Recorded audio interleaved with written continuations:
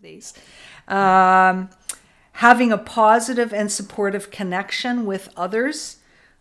To me, that's community, right? Having options, having solutions, getting information, motivation, sharing, and finding out what's working for other people.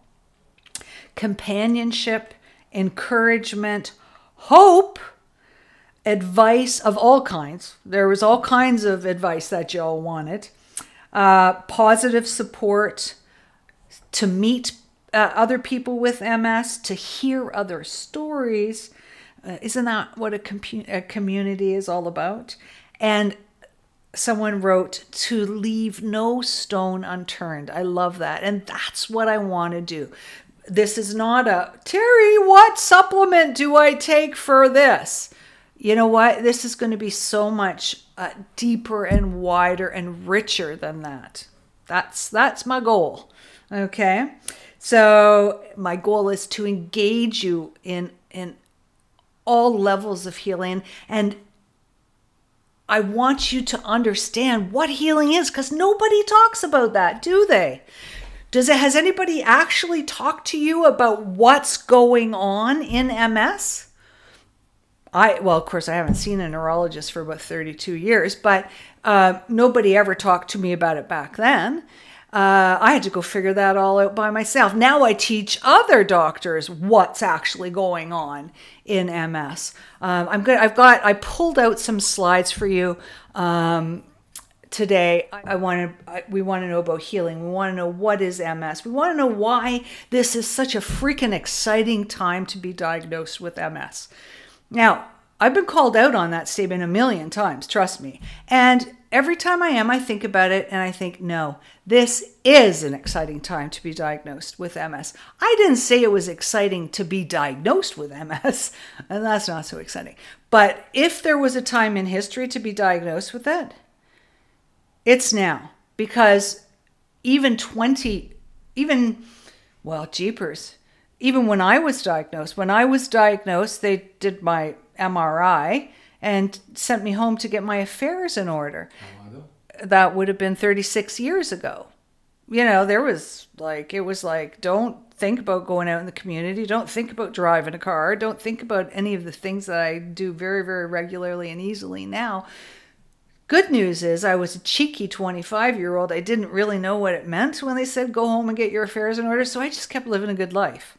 Okay, so I'm going to show you a slide here. I'm going to talk to it because I made this slide up and I love this slide because this is what I think is going on right now. And yes, I'm a licensed naturopathic doctor. I need to tell you that I am, my training comes, it's so rich and wonderful from some of the, the most traditional naturopathic doctors. Um, Belgium and France and Germany and in, in, the United States.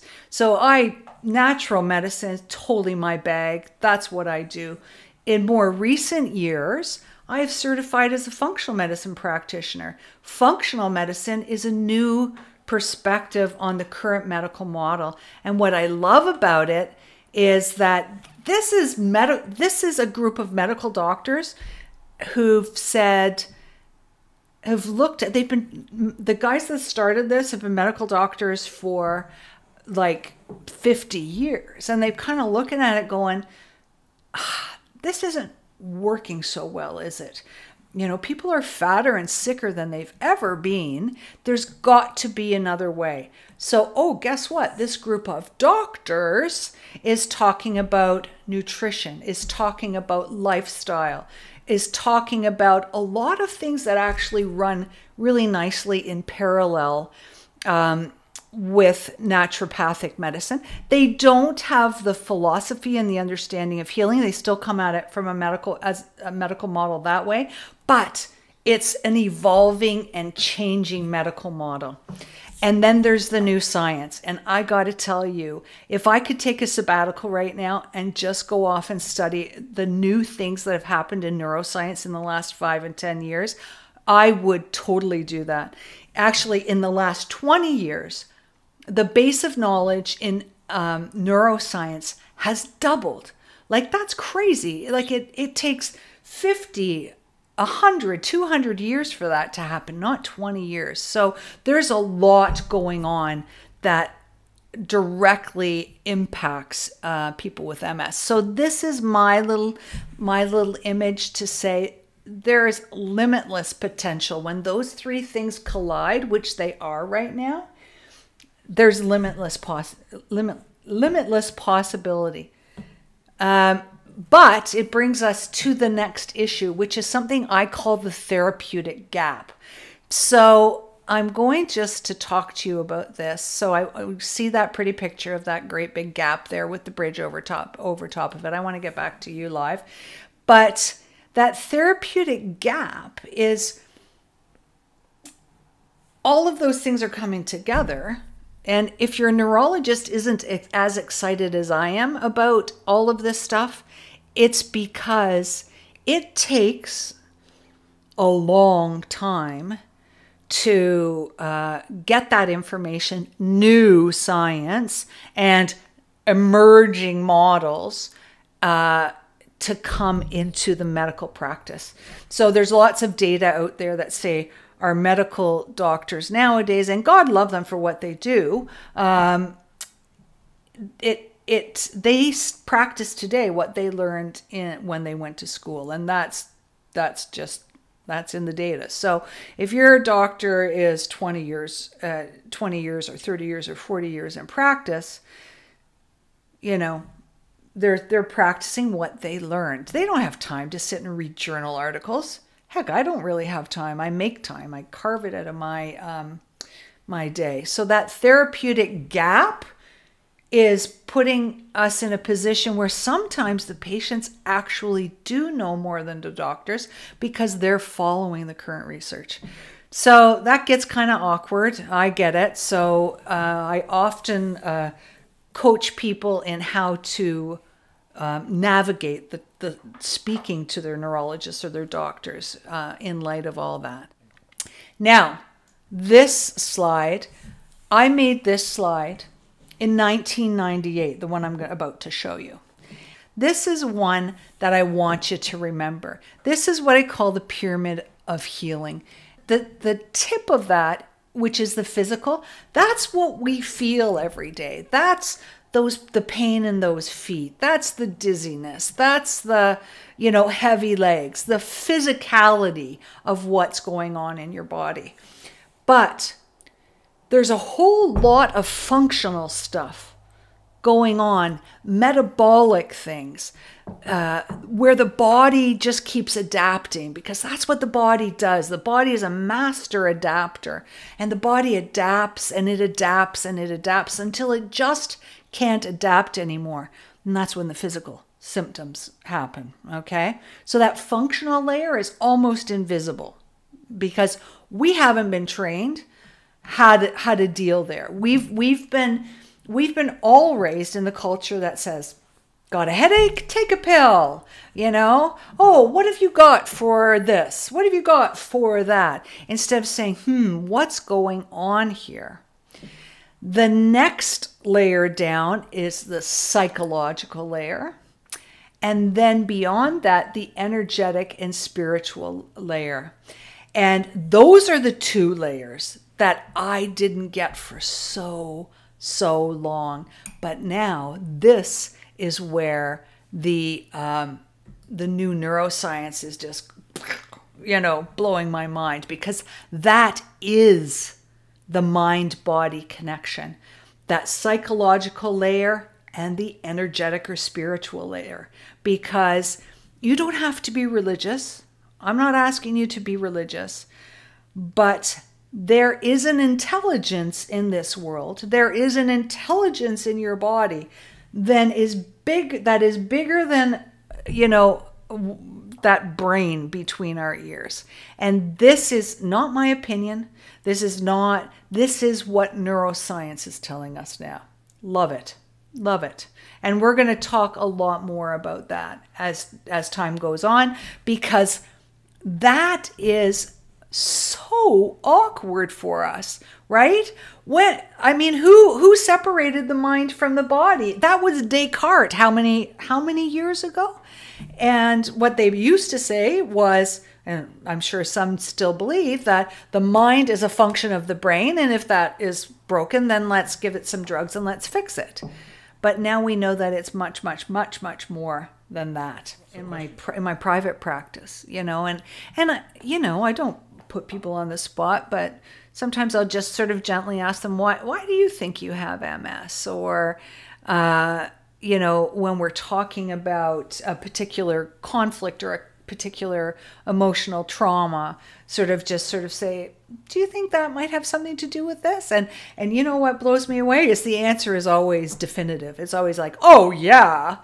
So people know. They just need to to have a little nudging to uh, to get there so we've got physical we oops holy. let me show you the, the that slide again we've got the physical which is the tip of the iceberg which are, are the symptoms We've got the functional, which is which is where the body is struggling to adapt to changes that are actually happening. And then we've got the psychological and the energetic or spirit. So that's one. You know what? I'll post this one. Will you will you remind me to post this one? I'll post this one in the group because this slide has served me really well for how many years since 1998? I have to take my shoes and socks off to count that but and I hope it will serve you too. And uh, and I hope actually you know what I'll post all of these slides individually because I chose them for tonight's um, conversation so that I want you to understand a bit more about healing. Instead of going for the oh what can I take? What can I take? What can I take? You know because it's not about that. Healing is not about what you take. It's not one thing. It's not even two things. It's about everything that you do. We know now from epigenetics that every part of your environment plays a role in switching genes on and off in in a good way you know so switching the bad genes on and the good genes on so this is this is all part of that. And all that to say that this is a journey, right? It's not a one and done, let's fix it forever kind of thing. I want you to think of this too, right? So if Mike always refers when he's talking to people of getting you from the left side of the page to the right side of the page. So on the left side of the page, this is where you know, if you're if you're newly diagnosed with MS, you're shocked, you might be afraid, you, you're reluctant to change. You're like, why do I have to do that? And what we want to do is explore all of the things that we're exploring today how new science changes things for the better, how to assess and address what's going on for you, and and your choices and your options. And for me, that's a really important part. Like, I want you to be able to say, okay, so I'm a little bit dizzy, or so the pain's gone up, or so I don't need to call my neurologist's office and say, oh my God, what do I need? I know that, oh yeah, I had that pizza last night at that birthday party, and then I ran that marathon, and I'm probably inflamed, and I probably need to get things under control again. So that kind of health confidence is where I really want you to want to be able to take you. That's one of my um, objectives. So you explore, then you engage, you actually uh, create new beliefs, you create new diet, diets and lifestyle, and you you establish abiding self care. We're going to talk lots about self care. Self care for me is the is the stuff that makes everything else work. Um, and you're serious and you're all in. You know, uh, a lot of the times it's simply about getting to the starting line because it's a big commitment, isn't it? The rest of your life, big commitment, right? After you are engaged, that's when you start to see yourself thrive you have a great team, you're connected with community, you're connected with great people, um, you use your tools expertly, you're resilient in the face of challenge instead of collapsing and letting stress get the best of you, and your life and future look bright instead of dim right? And that's when you're rising above the diagnosis. That's when you feel confident and in control and you participate in a great life. And self-compassion, and that's that's a huge thing. And um, we're going to do all kinds of work on that. That's why we're here. That's why we're here. And there's um, somebody called Kristin Neff. She's a PhD in self compassion, believe it or not. And that's N E F F. And you can check her out on YouTube and, and get, uh, get started on that self compassion if you're not already there. Here's my next slide for you. The first triangle, the red triangle, is what's going on in our body. What is at the basis of disease? So, inflammation, detoxification and elimination, and good metabolic function. And those three things apply in every system, every single system. And then the purple or blue triangle, those are the therapeutic interventions that we can use once again um, to mitigate disease, right? Nutrition, always. Uh, lifestyle and self care, always. Uh, and then supportive and corrective therapeutics. But I tell you something, uh, and the people that know me already out there from private practice know that nutrition, self care, lifestyle are always the first things I talk to people about. Always, always, always. Uh, because it doesn't matter what you take if you're eating a lousy diet or you're sitting and watching Netflix all day and you don't move. So I can't uh, prescribe corrective and therapeutic, um, supportive and, and corrective therapeutics over a bad diet or over a bad lifestyle. It once again, it's an all-in thing. Okay. So now this is something. This is my new model. This is brand new. And this is the way I see it after 36 years of living with MS and 20 years of being a doctor and how I see it now with my Transform MS approach. There is that big layer at the top called the MS Mindset Reset. And this is right off the bat, we need to address that, that um, brain body connection, that mind body connection, because it permeates every one of those pillars that's there. The four pillars themselves are self care. What's self care? Self care is everything from self compassion to sleeping habits to uh, whether you get a massage once a month, um, uh, we're going to talk about some self care that I prescribe frequently, like castor oil packs and dry skin brushing. Uh, maybe it's music, listening to music, whatever self care will take you out of the stress response and actually help mobilize your body to heal. Movement. Uh, what can I say? I've been a, a student of movement all my life. I did a lot of ballet when I was younger, and maybe that's it. I don't know. I've always been active, and I've always worked with movement therapists in some way, shape, or form. And I'm fascinated by them. I'm absolutely fascinated by how the body moves and how the body continues to move, how the body reestablishes movement. And it is so wise. That intelligence that I was talking about inside the body is really, really present when it comes to moving the body. Food and digestion. Food and digestion, well, that just can go on forever, right? The gut brain connection, the microbiome, digestion in general, morbidities like Crohn's disease, or celiac disease, which happen very, very, very frequently with multiple sclerosis. We know now that the gut is the epicenter for managing multiple sclerosis. You know, if you have any digestive disorders, if you have any any level of constipation, remember in the triangle diagram, detoxification and elimination, the first way the body eliminates is through having bowel movements. And if your bowels are moving any less than once a day, then there's a problem. And people say, "Oh, it's always been like this." Well, no. Well, that doesn't make it that doesn't make it good and it doesn't make it right. There we go. I put food and digestion in the same pillar because they go in the same pillar. Because, you know, food can work for you or food can absolutely work against you. Uh, you know, it's every bite you take can be directing your recovery and it can't be understated.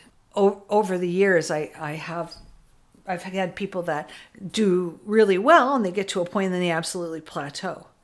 And so, like, okay, well, let's revisit what's, what's some of these pillars, right? I've called them different things over the years. Um, how, how are you doing with your diet? How are you doing with food? How are you doing with your diet? Oh, spot on from Monday to Friday. But on the weekend, I let her rip, you know? And it's like, no, can't do that. Um, so food is important. I literally from one meal to the next.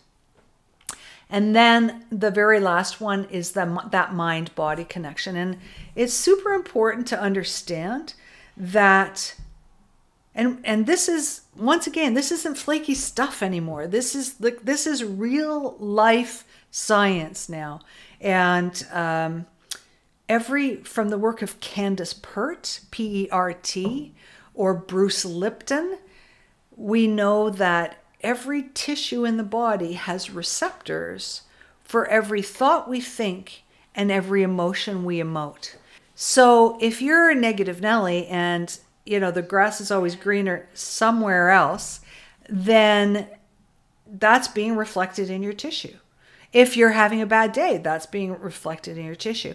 If somebody comes in and brings their emotional garbage in and dumps it all over you, that affects your tissues we've probably all had the experience where in a very stressful situation all of a sudden that strength is gone. All of a sudden we're not doing so well. So it's it, it's super important to understand that since it was first named in the in the mid 1800s um, multiple sclerosis has been a condition that's a, that's negatively associated with stress. So that's like closing in on what is that? It's about 175 years that we've known that MS is directly impacted in a negative way uh, by stress. So guess what just keeps getting worse? They figured that out in 1840. Compared to today, what kind of stress did they have in 1840? You know what I mean? So imagine what's happening to the body now. So community love is just my way of saying, you know, cr- creating a, that support structure around you. And I don't mean I don't mean that in a pathetic way. I mean that in a in a joyous way. I mean that uh, you know what fills you up like I said, you guys fill me up. It just took me 15 years to get this going. You know, uh, what fills you up in your life? You know, you don't have to do everything in your life, doesn't have to be focused on MS. You know, you can do other things and you cannot talk about MS.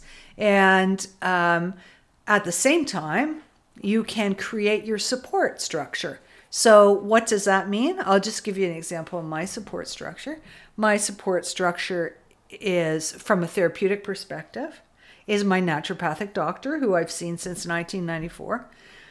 Um, my uh, my osteopath. To me, osteopathy is like absolutely essential in in healing because they just have such an incredible perspective on the body.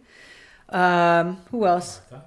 Martha absolutely. I've I have a psychotherapist that I've worked with for years and years and years. She's actually become my clinical supervisor and helps me out with my harder cases uh, at work as well. And she but, does marriage counseling. and she does marriage counseling if we need it, yeah, right? right. You gave him a thumbs up. Okay. Um, so that's part of that. Now, COVID's taken you know taken a kick out of a lot of our community stuff, but you know what? That could be um, uh, going to the gym. That could be going to a book club. Uh, you know, what whatever builds your community. And, uh, and reduce your negative influences at the same time. Yeah, definitely. so Mike said re- reducing your negative influences at the same time. So here you go. That that mindset reset.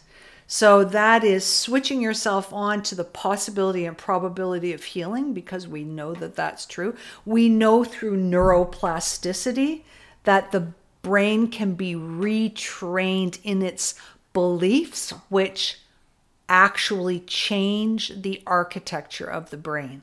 So I just want to go, I want you to see me because think about that. What you believe cha- actually physically changes the architecture of your brain. What?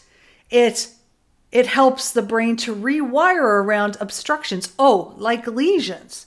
So this is all the new neuroscience. We just have to know how to engage it, right? We just have to know how to engage it. Oh, there's Sylvester again. So then there's the pillars and then there's the community love. So the what's the transform MS blueprint? That is how everything comes together for you to guide you on your uh, on your unique path.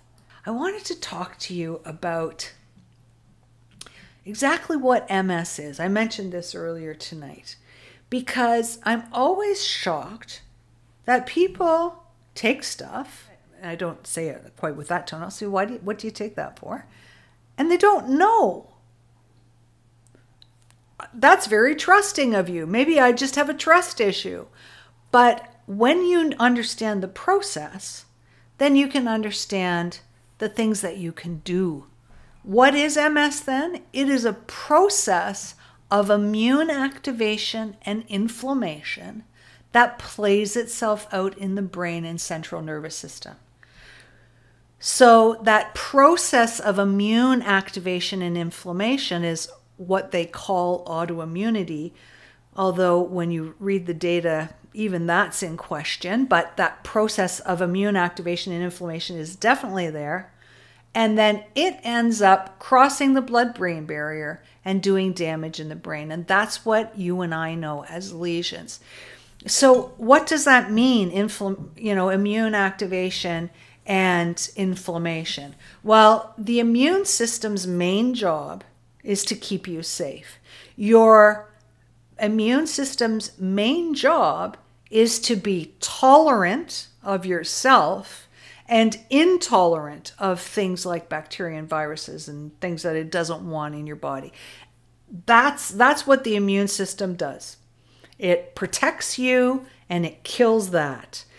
In now nowadays a more modern thinking, like some of the real thought leaders in this are saying it's not that simple, right?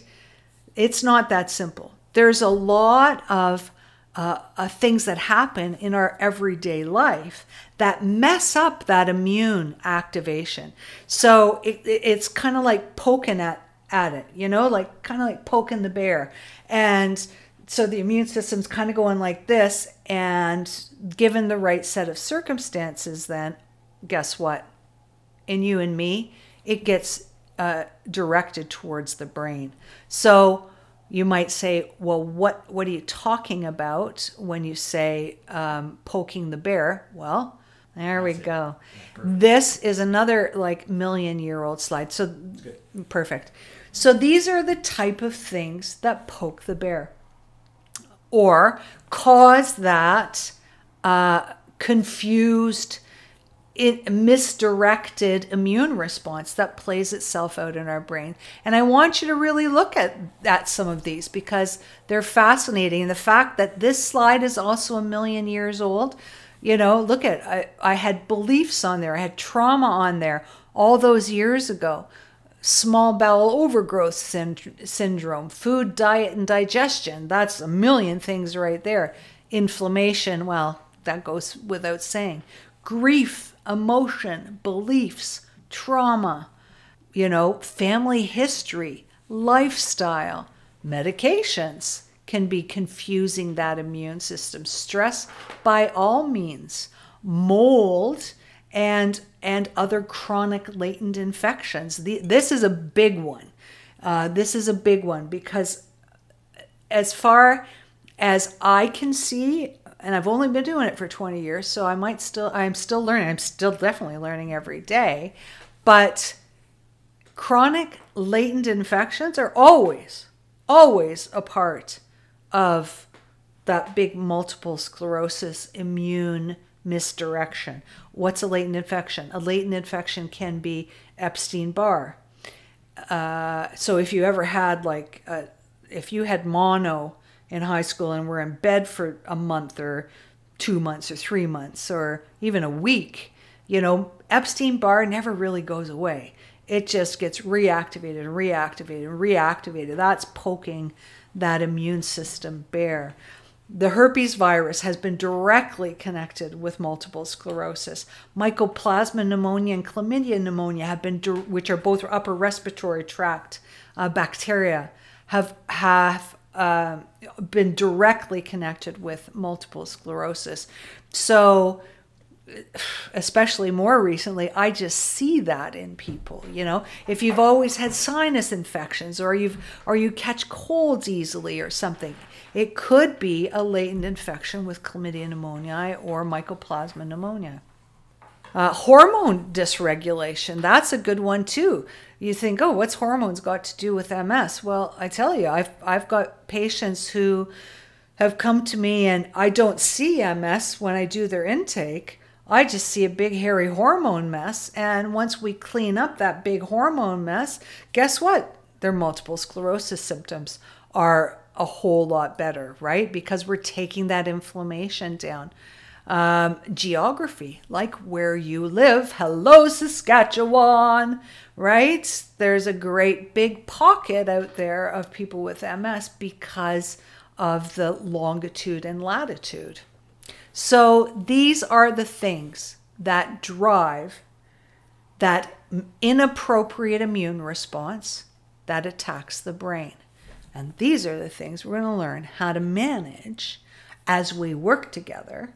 And we're going to put that into our model for healing. And we're just going to make change in our lives, in, in my life, in your life, and in everybody else's life. Because remember, one plus one equals three.